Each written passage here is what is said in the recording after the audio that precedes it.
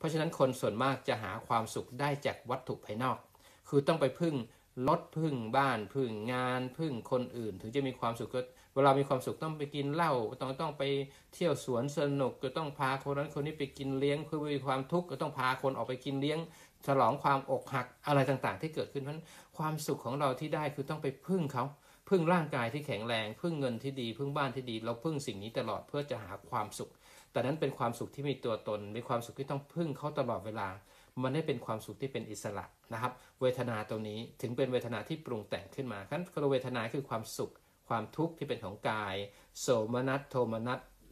อุเบกขาที่เป็นเรื่องของใจ อันนี้คือพูดถึงเรื่องเรานะ ให้เรามาพูดตรงนี้ก่อน แล้วเวทนานะครับ มันมีลักษณะอยู่ 3 อย่าง คือมันไม่เที่ยง เดี๋ยวมันมาก็ไป เดี๋ยวมันเกิดมันก็ดับ แล้วมันก็เป็นของที่ไม่เที่ยงคือเป็นทุกข์คือมันบีบบังคับ มันบีบคั้น มันไม่สามารถคงสภาพอยู่ได้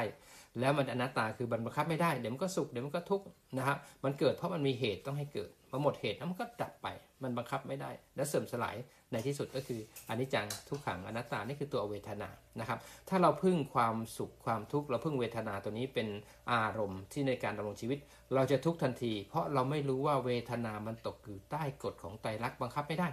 ตอนนี้เรารักกันใหม่ๆนะ อีกสักสองวันเราอาจจะเกลียดกันก็ได้ ตอนนี้เรารักกันใหม่ๆเราชอบของอันเนี้ยแต่ของเนี่ยซื้อมาใหม่ๆนะเราชอบอยู่ไปอยู่มาอุเบกขาเกิดก็ได้